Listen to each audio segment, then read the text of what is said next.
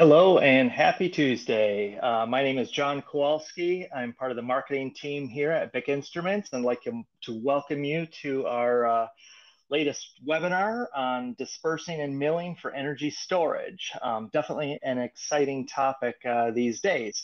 So uh, today's presenter is Mr. Uh, Andy Stummer. He is our business line manager for dispersion uh, and milling. Uh, he'll be presenting today. Uh, also, if you have any questions, please log them in the uh, chat located in the bottom right hand corner of your screen.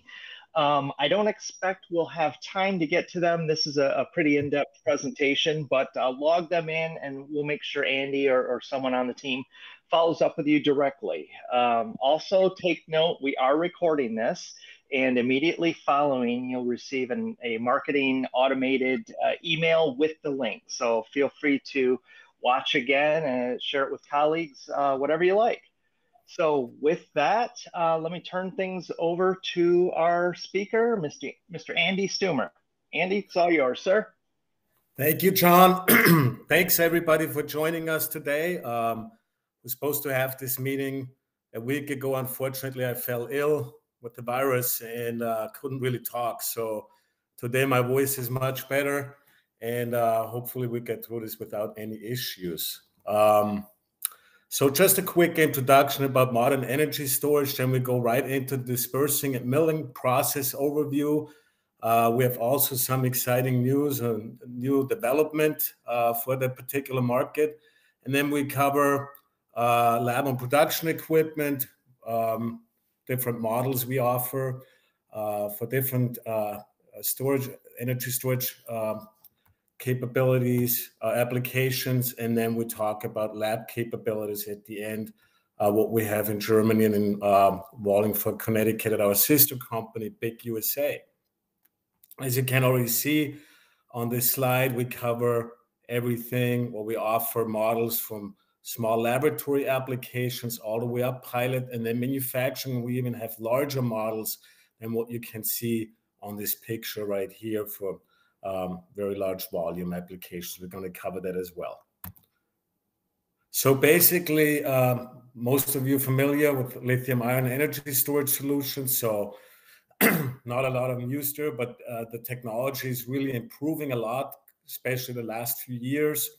Um, we have seen really quite a good increase in performance, better range, power, and also with new developments, shorter charging times. So it's really important to select the right, uh, right equipment, uh, right dissolvers, as well as milling uh, technology, uh, and th- as well as additives that go into these slurries uh, to give you really the best performance and development on also manufacturing uh, capabilities.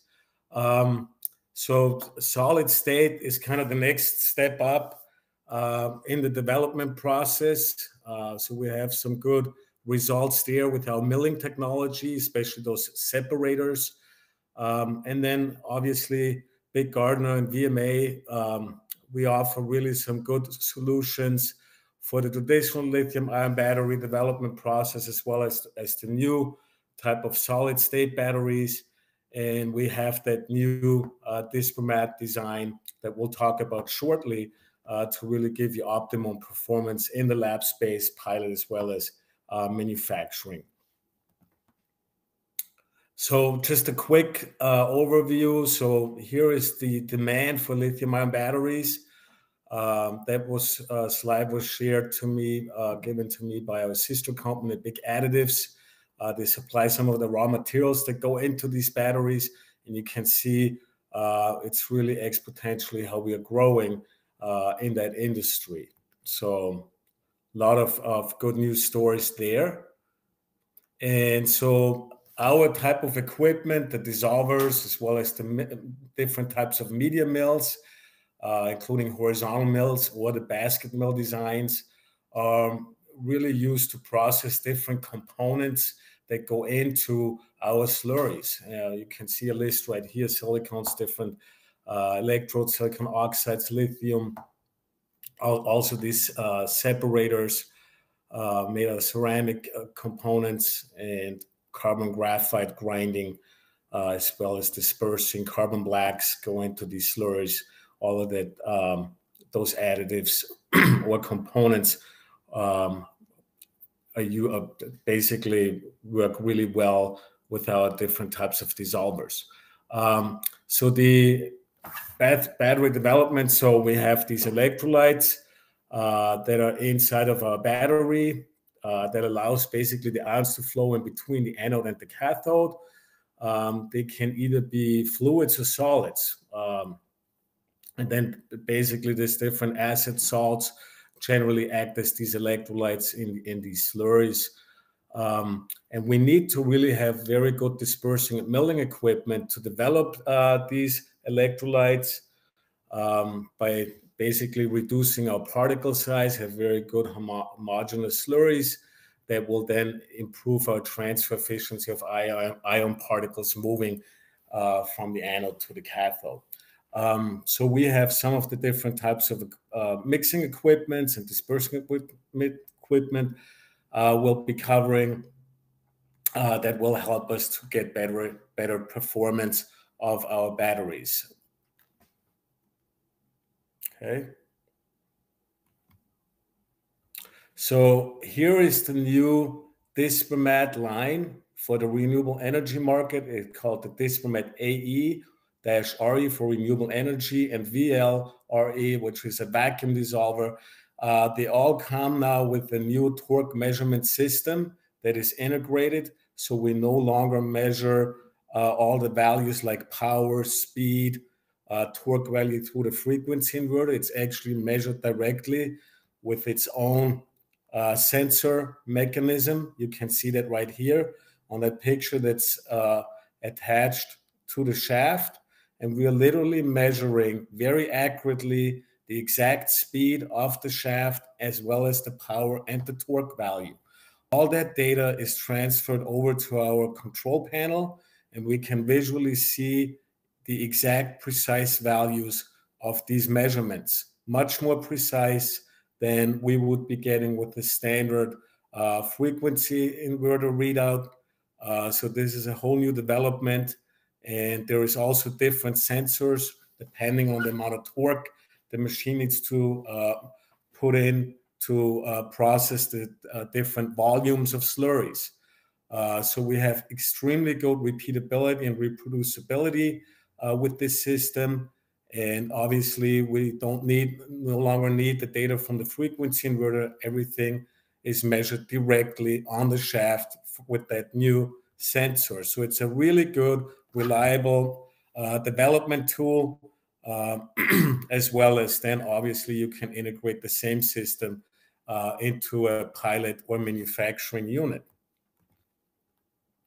So here's an example of um, new Dispermat AE renewable energy with the torque measurement system, how we uh, uh, mill or, or uh, homogenize carbon black and so here the different ingredients that go in, PVDF binders, different additives, our active materials, and obviously idea is to develop a really good uh, cathode slurry um, with the carbon black.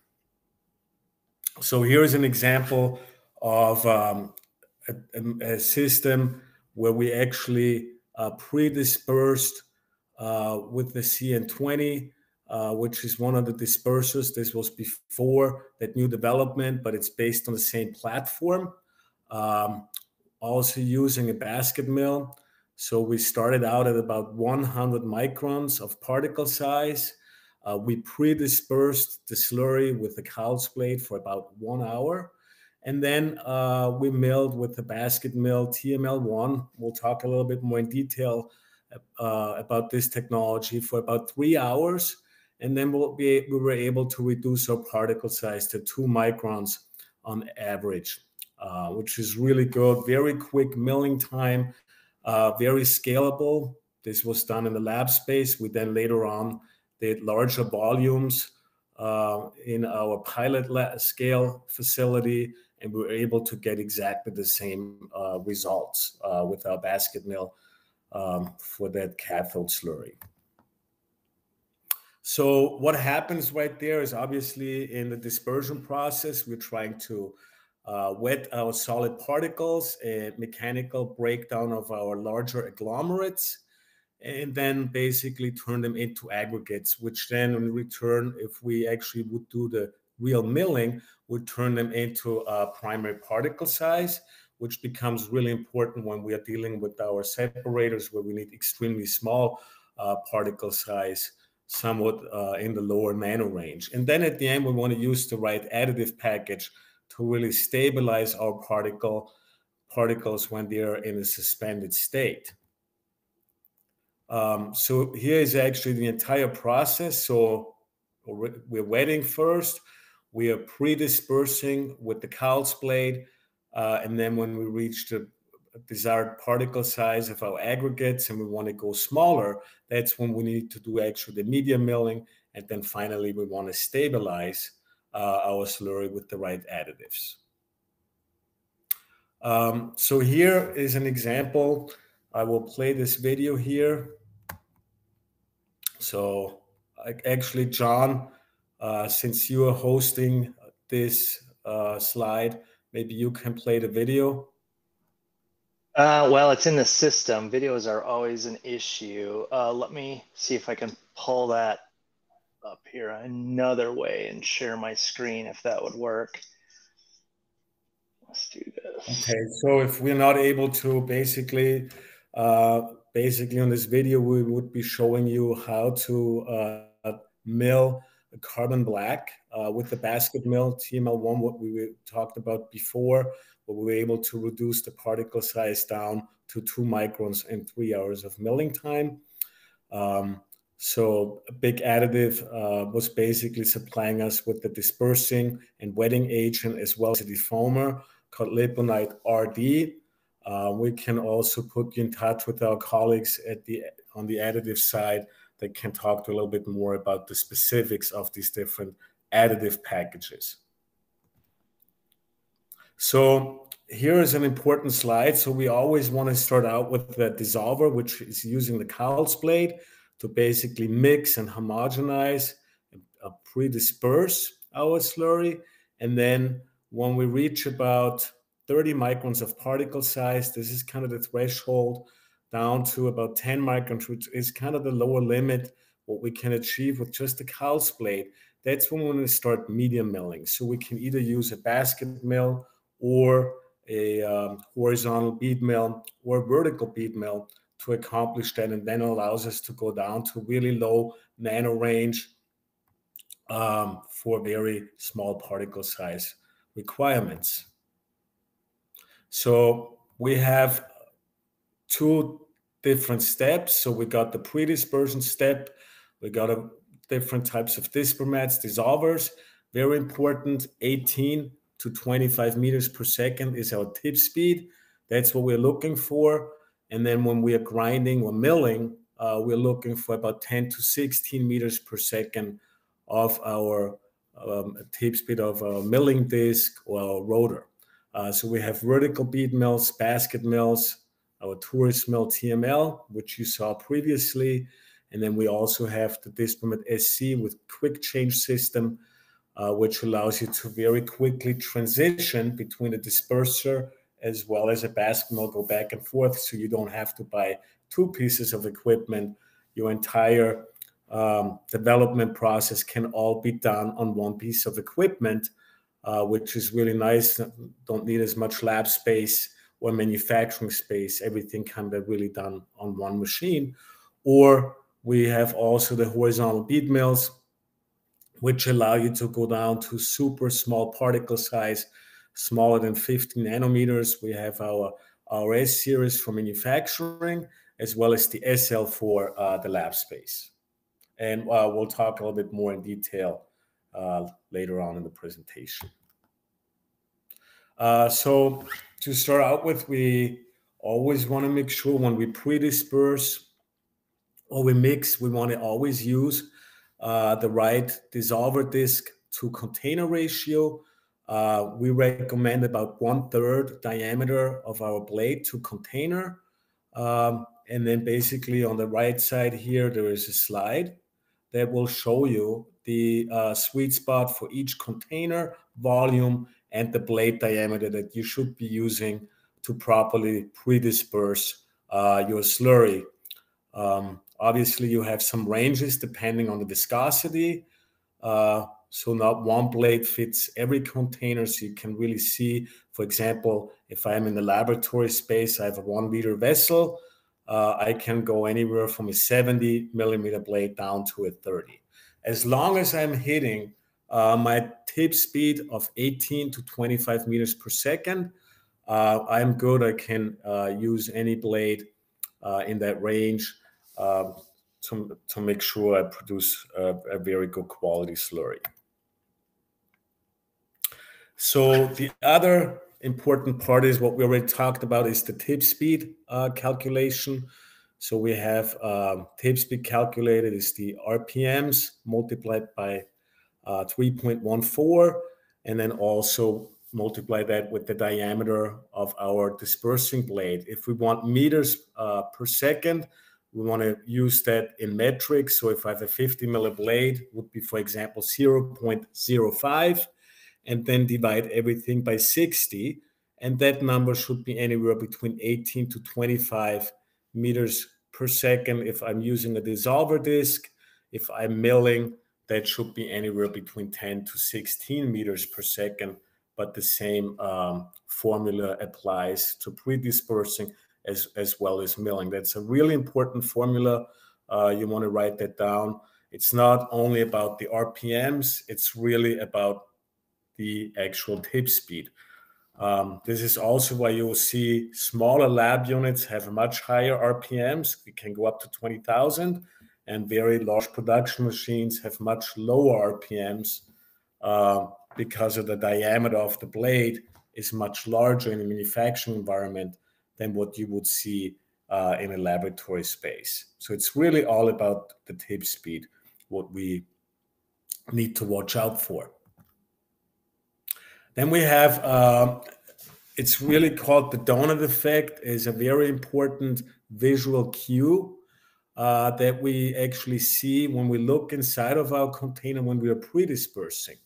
So when we optimize our dispersion parameters, optimize the tip speed, um, you should, and also the mill base, about 50% of the 50 to 70% uh, fill rate of our container. We don't want to go higher, otherwise we're spilling. And we optimize uh, the uh, parameters. We should really visually see the formation of a donut. You can see that really well right here. You want to see that the blade is somewhat exposed and that you can actually see uh, the center part uh, really well. That means we are probably optimizing or most likely optimizing our dispersion process. Also, if our viscosity is in a good range, and I'll explain that in the next few slides. Uh, if the viscosity is too low, we may still be pre-dispersing, but we won't see a donut because the donut would automatically collapse uh, once it's being formed. So here is a good slide showing you where actually the breakup of these larger particles takes place. It's actually uh, at the lip of our blade. Also, you would have the same effect on the bottom. It's not on this picture here, but you would see both on the top as well as on the bottom where this deagglomeration uh, action actually takes place. Uh, here's an example of a slurry. Um, same effect applies uh, to a, a, battery slurry. This picture was taken with the coating, uh, but you see an optimum dissolver prep right here. We are putting in 21 meters per second, uh, 850 watts of energy. So you can see the donut. Over here on the next one, we're putting in 320 watts of energy at the same tip speed, which means that the viscosity of our slurry is very low. Doesn't mean we are not dispersing, but just means the viscosity is so slow, no donut can be formed. So it'd probably be better to uh, modify it so you can increase the viscosity somewhat to get the donut and, and also to be able to put in more energy into the slurry, which is important uh, in our deagglomeration process. And here is an example of where we're putting in 900 watts of energy. We're uh, not seeing a donut. This means that the viscosity is really high and we are probably not able to ever see a donut. Uh, doesn't mean we are not dispersing. It just means that the viscosity uh, is just so high that we don't really get the donut formed. Okay, so for the pre-dispersion process, which is that first step, really important, duration of our dispersion process, depending on our formulation, um, can be anywhere, you know, up to like one hour. What we have seen, uh, certain applications, usually about 15 to 20 minutes, uh, but up to an hour. And then we want to eh, be able to see the donut effect. Ideally, always try to stay within 18 to 25 meters per second of tip speed. Uh, again, we want to be about one third diameter ratio our uh, impeller or dispersion blade to our container. Uh, also want to choose the right type of impeller. There's many different ones on the market, light duty, heavy duty, depending on, on, on the viscosity. We want to stick with about 50 to 70% uh, fill ratio, uh, not more. Otherwise, we are spilling. And if we have less than that, then um, we're not able to properly oscillate up and down. So that could be an issue as well. And if we are basket milling, uh, if we have less than 50%, the, the mill will actually touch the bottom of our container, and that could also affect the milling performance. Um, carbon black, zirconium, and filler concentration play a role. Uh, low temperature is important. We will try to be as cool as possible. So we have also double wall containers that will help with temperature regulation. And then again, the right additive package is important for better wetting, dispersing, no flocculation, and also uh, to keep the foam uh, in check. Um, and then once we uh, achieve a go pre-dispersion result, we can then move over to a bead mill to get smaller particle size if we if we need to. So the difference here really is obviously with a dissolver or a disperser, we only have a Cowles blade. Uh, because we only use a Cowles blade, the lamp, the energy input is somewhat limited, meaning means also limited amount of shear force. It's really only for the first step to deagglomerate uh, and get us down to the aggregate level, not to the primary particle level. Uh, but it is a really critical step in any type of dispersion process that we first use a dissolver before we do any type of milling. Um, the reason is in mills we have dynamic gaps, so we have screens, and if our particles are too large, uh, the screens could get clogged or our dynamic gap would be clogged. Also, our beads may not have the right kinetic energy to really break up these binding forces of these larger particles. So we want to pre-disperse um, down to 30 microns, between 10 to 30 microns, and then we want to start the milling process. Where we're able then to put in a lot more energy, really break down to uh, primary particle size. Uh, again, with the basket mills, we're able to go down to about 500 nanometers and for really small particle requirements, um, like your separators, where we need sometimes smaller than 100 nanometers, uh, we really need to use a horizontal bead mill. That will obviously give us improved characteristics, better particle size, transparency, color strength, uh, or particle size distribution, some of the effects that you would see uh, if you're uh, properly milling uh, your slurries. So what actually happens inside of a bead mill? Obviously, we're inside of a chamber and the milling disc or the rotor will basically rotate at a high rate of speed and then throw around these beads or the media that we have in the chambers. Uh, and then basically as these beads are drifting towards towards each other, um, that pushing action, that the fluid dynamics will actually cause uh, the shear force to break up these binding forces. Uh, so that means that the larger particle gets pushed away with a really high velocity and then basically gets reduced to smaller particle size.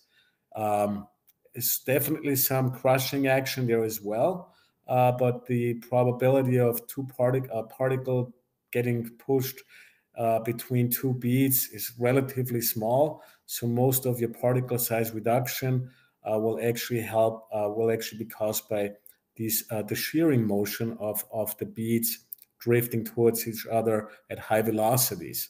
Uh, so at that point, we're able to reduce the particle sizes below 10 microns.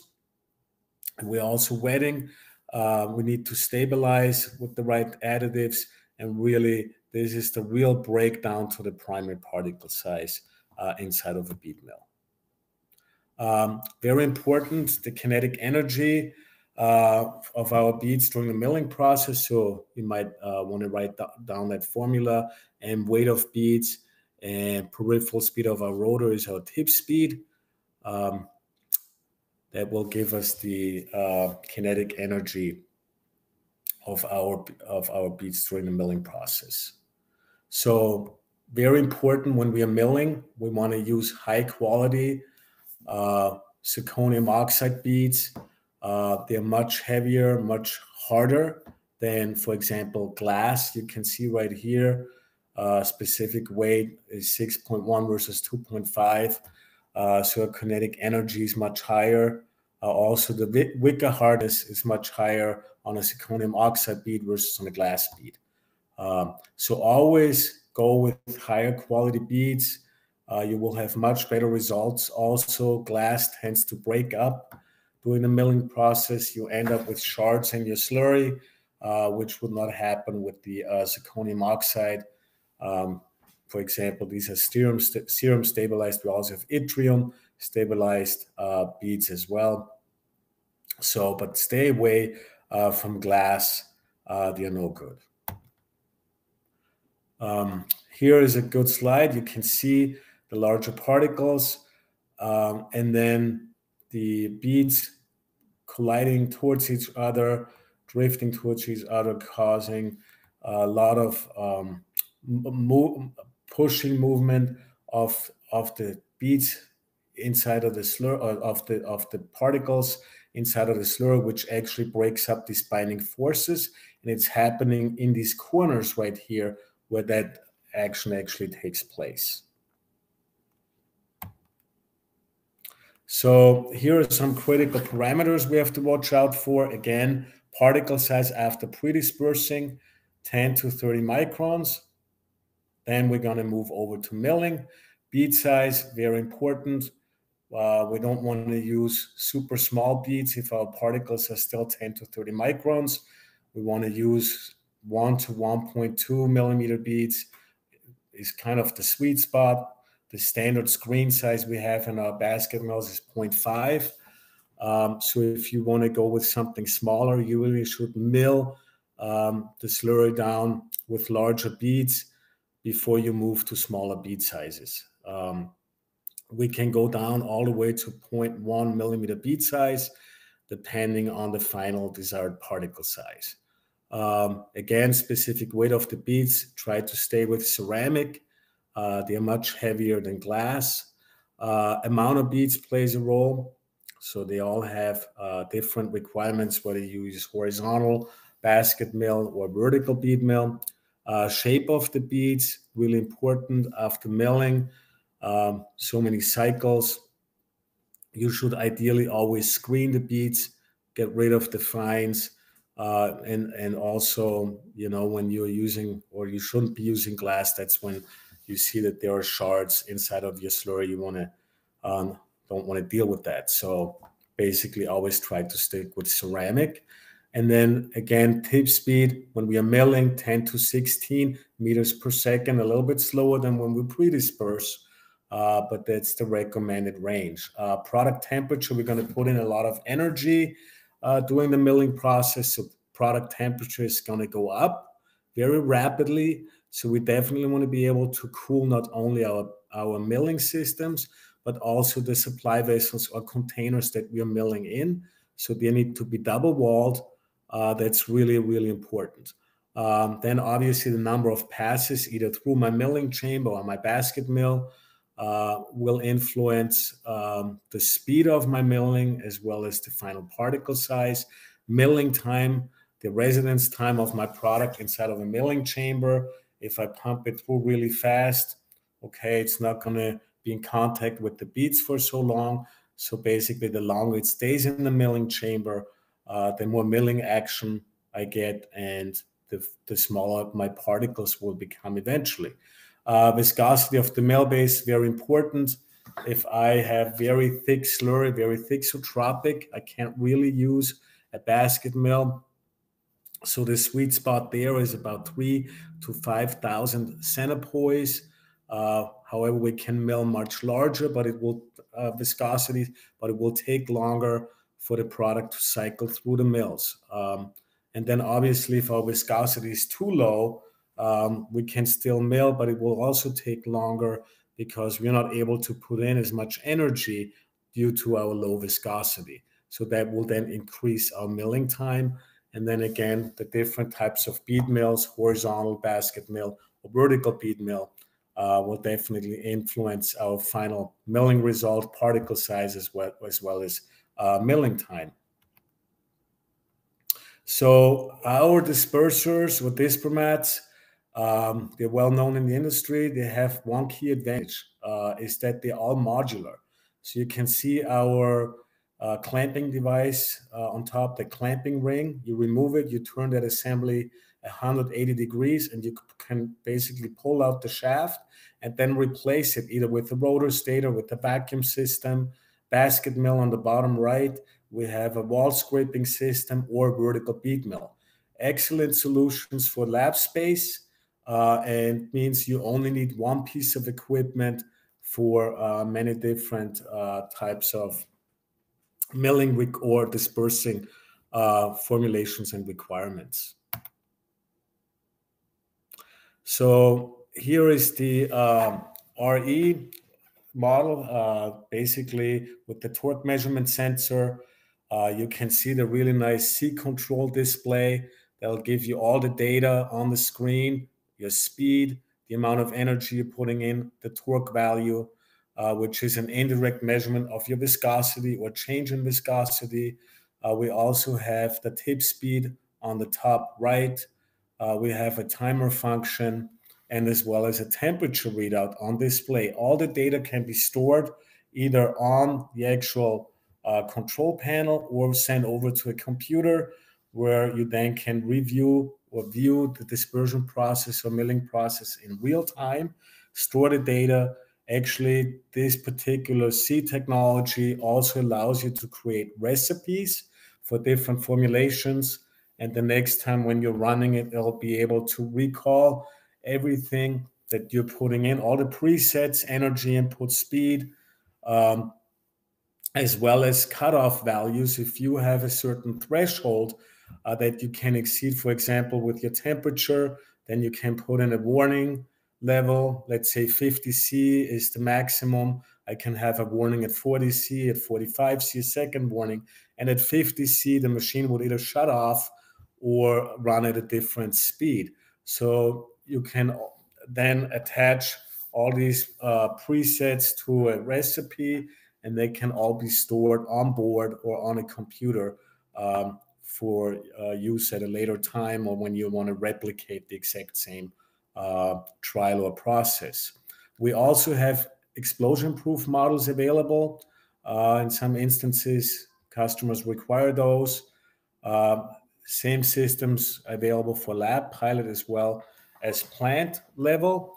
Uh, we use no uh, only direct drive brushless motors. If you have worked on a Dispermat, ultra quiet. You can hardly hear them when they're running, hardly any vibration of the motor. There is no belts or anything. The shaft goes right into the motor and it's direct drive. So it's a really, really well designed motor and, and, and Dispermat system. Uh, so this here is uh, the new VL uh, renewable energy system. Uh, we have that model with the torque measurement sensor integrated. Uh, this machine allows you to basically disperse under vacuum. Uh, you can turn on the vacuum where you don't have to. Uh, it has a basically uh, a closed system with a viewing glass on top that allows you to also open that uh, viewing glass to add more product, more powder or liquid additive.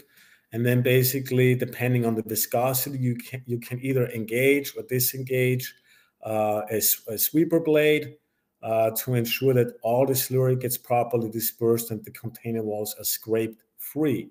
Um, you can then turn on the vacuum um, either during the dispersing process, it runs the entire time, or you just run it once, then close the uh, valve, and then basically maintain the certain a certain vac- vacuum pressure inside of your vessel.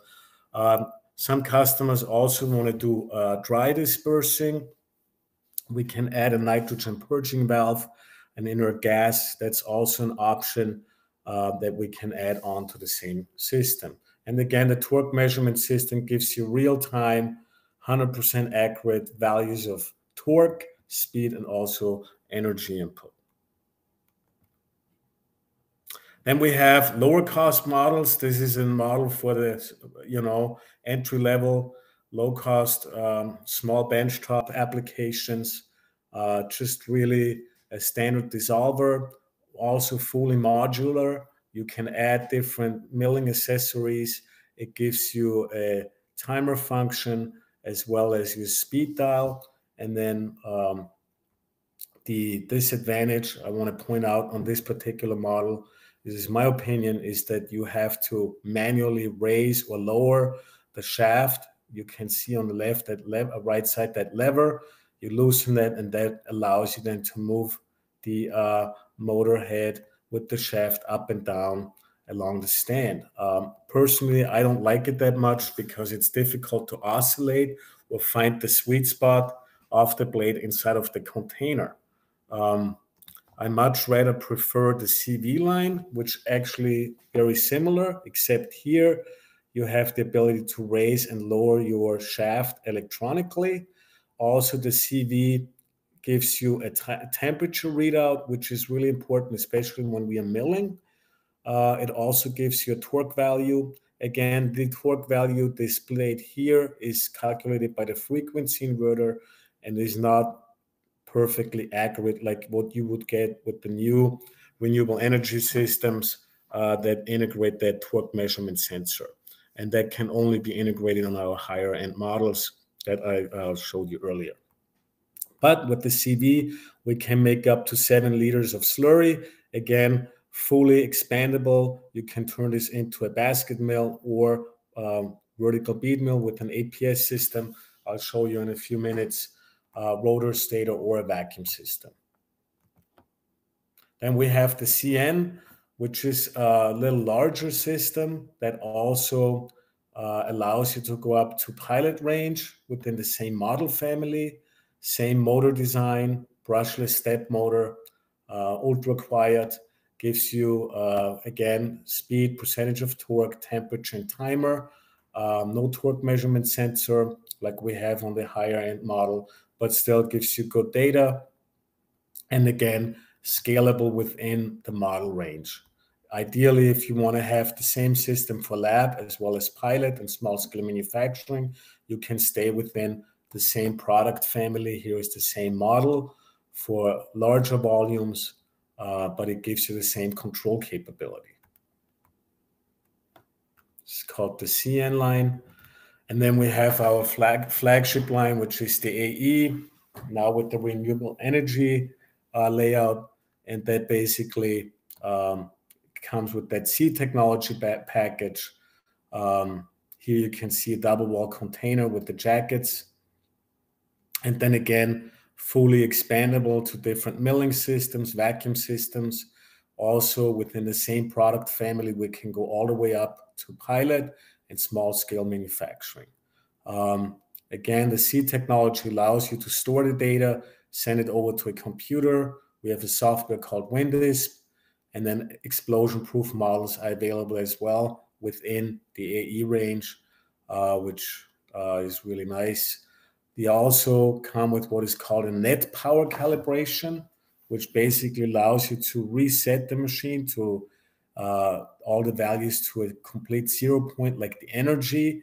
So when you turn it on, you run that net power calibration feature. It will run without any product for 30 seconds and then reset all its values uh, to a zero point so that when you're actually running product, there is no um, contamination of the values from the actual machine input itself.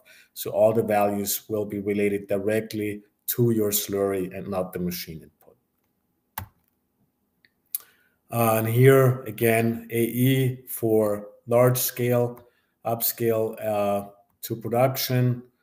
Um, this is a small scale production. I'll show you the large scale production in a minute here.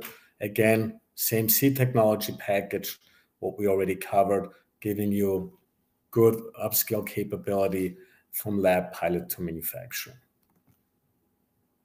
Then we have uh, horizontal bead mills in our portfolio. So we have the SL for the lab space, and then for manufacturing, the RS systems. These units are awesome, especially if you really want to go very, very small particle size. Uh, we offer full zirconium lined milling chambers, zirconium rotors, really important for uh, battery development. We can't have any metal contamination in our slurry. So we have those um, uh, capabilities in our uh, small laboratory scale models as well as our large manufacturing models. Um, you can run them either in circulation mode or pass through mode. Um, the smaller units you can see have the supply vessel attached to the actual milling chamber. Uh, above that is a is a small motor with the shaft and the pumping system that will actually force our slurry inside of the milling chamber, and then it gets recirculated back into our supply vessel.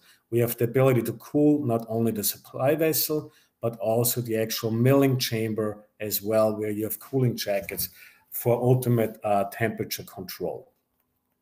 Also, the same temperature control capability exists uh, also for our manufacturing scale RS systems. Here are the different volumes uh, for the manufacturing scale horizontal bead mill, uh, volumes in liters per hour, so we can really produce some massive amounts of product. Uh, and we have actually gone larger for some custom applications. So if you're really looking to produce massive volumes, uh, we can um, definitely help you there uh, with a customized solution. Again, ceramic option, all um, zirconium lined, as well as zirconium rotors. Then we have the manufacturing scale. We can go up to about 2,000 liters of product volume, uh, roughly about a little bit like 600 gallons. Um, output 55 kilowatts. We have different control capabilities. So we have the standard SPS or SC, and then we have a Siemens control panel. If you want to integrate a scale, we have that ability to also offer this package as well. Um, we have a vacuum capability uh, with the SC. Uh, we offer a wall scraping system for really thick, thick materials. Uh, if you want the entire slurry to be processed um, with the wall scraper, that's an add-on. Um, that's also helpful for slurries that are very thixotropic. And then we also offer explosion-proof designs and the quick change system, again, I talked about it earlier, is available that allows you to seamlessly move from a dissolver over to a basket mill. So they're very, very quick change systems. I can move from a disperser to a basket mill in about three minutes. I can move from one to the other. So I only need one piece of machinery for my entire dispersion and milling process instead of buying multiple pieces of equipment.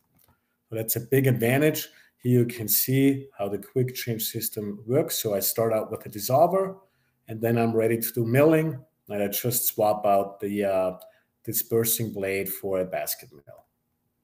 And again, we have full ceramic option, zirconium lined milling chamber, as well as zirconium milling disc uh, with our basket mill systems.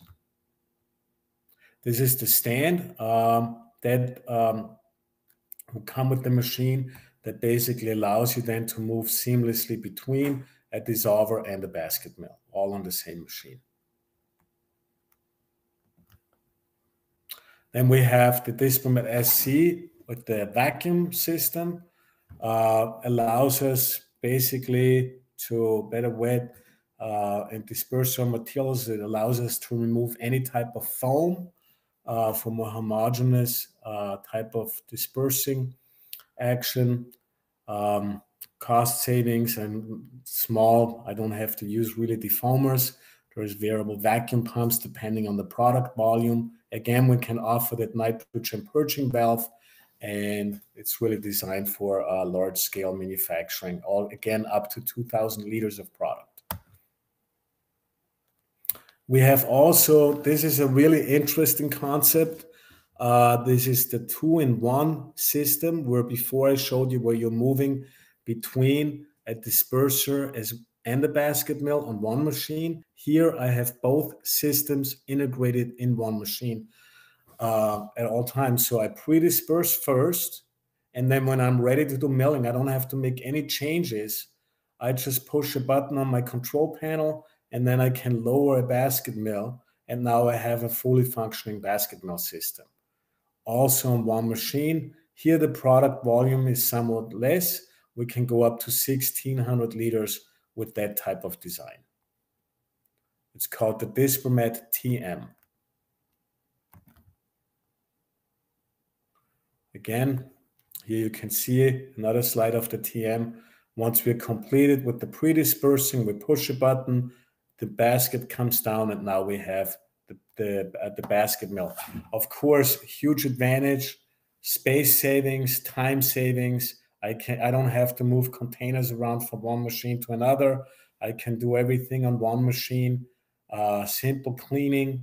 I don't have to move baskets. I can literally uh, do the entire dispersing and milling process on one machine, pretty much at the same time without having to make any changes. We get really good milling results with our basket mill design. Um, I showed you that earlier. So these are awesome machines. The threshold there is about 500 nanometers. Uh, if we want to go lower, we really need to move over to a horizontal bead mill.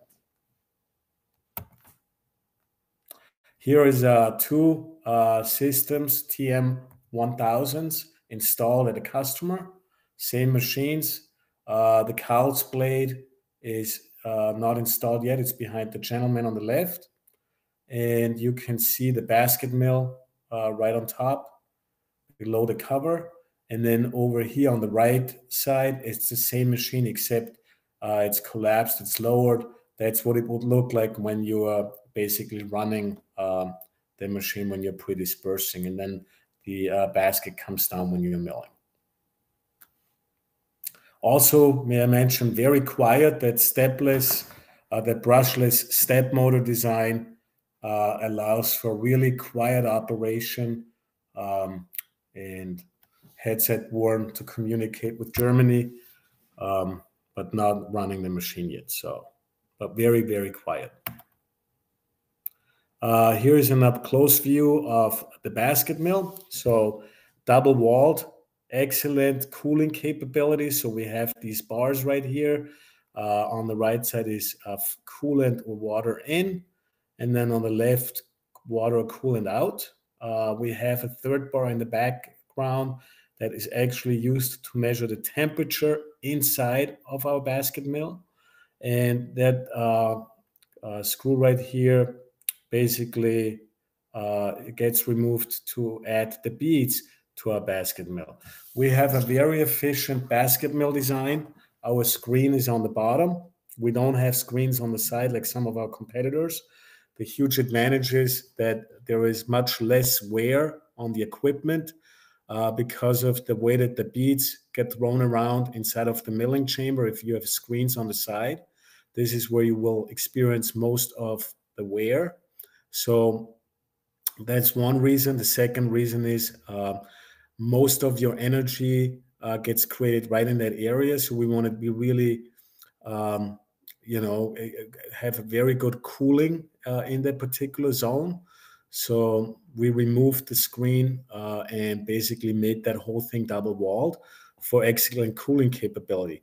To draw the slurry out of the container, we use the Cowles blade on the bottom, and we can then effectively draw basically our slurry out of the uh, out of the basket and then push it back to the top.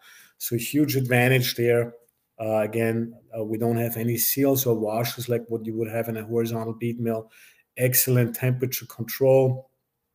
We also offer a vacuum system, uh, and basically we have an integrated pumping and steering wheel to draw uh, the slurry into our basket, and then here is your milling disc with the screen right below.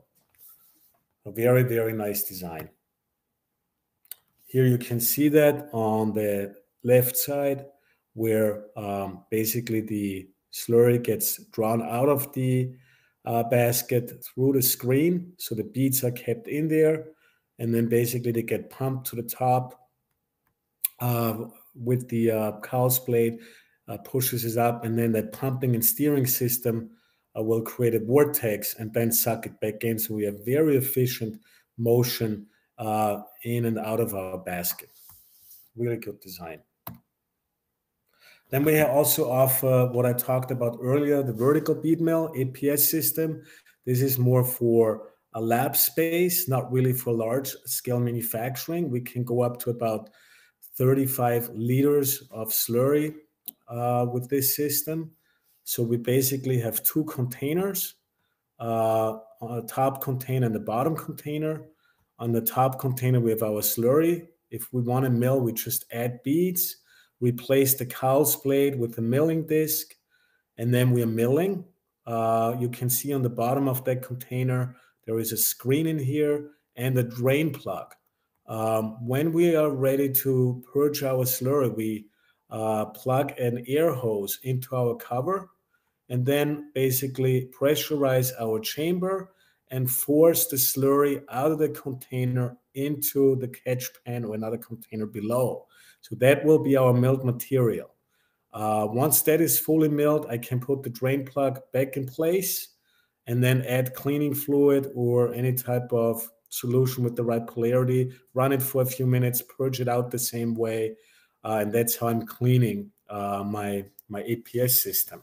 Very efficient, but again, small scale, perfect for lab space to do a lot of samples very quickly, all the way to small scale pilot. Not really suitable for large scale manufacturing, just because if I have 2,000 liters, um, I would need a lot of beads um, to really melt the material. It becomes very inefficient at that scale uh, because we can add 100% of our um, uh, slur, we can add in beads. So if I have uh, 500 milliliters of slurry, I can add 500 milliliters of beads. So we have a lot of milling action going on in our small uh, containers. Uh, just different uh, control panels here.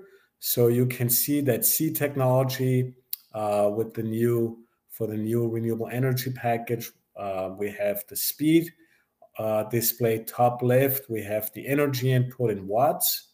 Uh, we have a torque value displayed. Um, the uh, tip speed on top right. We have a temperature readout as well as our timer function. Um, the device also comes with that safety, uh, those safety features, a container clamping system. You can see we have uh, two buttons right here. They allow you to set a threshold for the lower limit as well as the upper limit inside of your container. So you would preset that before you start dispersing or milling to ensure that basically you can operate within those two set points. If some were, somebody were to inadvertently push the up button and it would pass the threshold that you set, the machine would automatically power down or stop at that reference point so that there would be no way somebody gets injured with the, this spinning disc outside of the container. also for the bottom threshold that would ensure that you wouldn't be hitting the a bottom with the disk or, or the milling system. You can also add a light feature to see what's going on inside of the container. You can add an oscillation feature that basically allows for the shaft to move up and down uh, at different rates, uh, depending on what, what materials you're trying to process. On the right side here, you see the simple version of the control panel, more for manufacturing, very easy. Sometimes in these manufacturing environments it gets very dirty or dusty. So this is a, a, more sturdy approach to the control of the machines. Then we have a lab space available in germany uh, where we actually build all of our machines. Uh, we can uh, have you there to do some trials on the equipment uh, proof of concept testing we also have a large upscale and small manufacturing facility. If you wanted to uh, see how the larger basket mills or horizontal bead mills functions or the solver uh, with your slurries, we can uh, set that up. And then here in North America, uh, we have a smaller lab. This is some of the new equipment we added for uh, doing small lab trials um, in our Wallingford facility. Uh, the advantage there is we work in conjunction with our uh, sister company, the BYK Additives team, and they have some really good innovative solutions uh, for electrolyte as well as um, uh, separator development and processing. So we offer different types of surface additives, defoamers, as well as um, dispersing additives that go into your uh, elect- electrolytes uh, cathode or anodes or the separator material. So if you come and visit, we can uh, then tie in one of the chemists to give us support on the development side to ensure that you get optimum performance, not only from the equipment side, but also uh, with the additive packages. So the Wallingford site in Connecticut uh, is located at our sister company, BYK USA. It's a first class laboratory facility. Uh, we have the Battery Additive Development Center, uh, all for energy storage solution processing. Uh, so we can really show you the type of equipment for your application, uh, run different um, trials on the different uh, milling systems. Uh, we can also scale up as well. we don't unfortunately have really large uh, scale. We're in the process of adding that capability, uh, but we do have that in Germany. And then again, we can really uh, uh, leverage those synergies we have with the additive business and our instruments business really nicely. Um, the lab is great. Uh, we can use it also as a showroom if you want to come in and look at the equipment without actually running material. We can set that up. And then it also functions as a training location or a seminar location for our customers. And that's it for today. Thank you very much for joining me today. Great information, Andy. Um, as always, we appreciate the time and expertise. Um, like I said, you'll be getting a uh, an e- a marketing email, automated email um, immediately following this, uh, where you'll have a link to this recording. Feel free to share it with colleagues. Um, if you have any questions at all, just hit reply. Um, it'll come back to uh, our marketing team and we'll route it to the right technical expert. Uh, also, uh, Andy and I are working on a, a pretty extensive white paper around uh, dispersion and milling for energy storage. Um, so stay on the lookout for that. As soon as we get that done, we'll uh, definitely get it on our website and uh, promote that out to you. So, uh, with that, have a great rest of your day. Um, and we look forward to seeing you on future BYK Instruments uh, webinars. So, uh, thank you. And uh, thanks again, Andy. Thank you.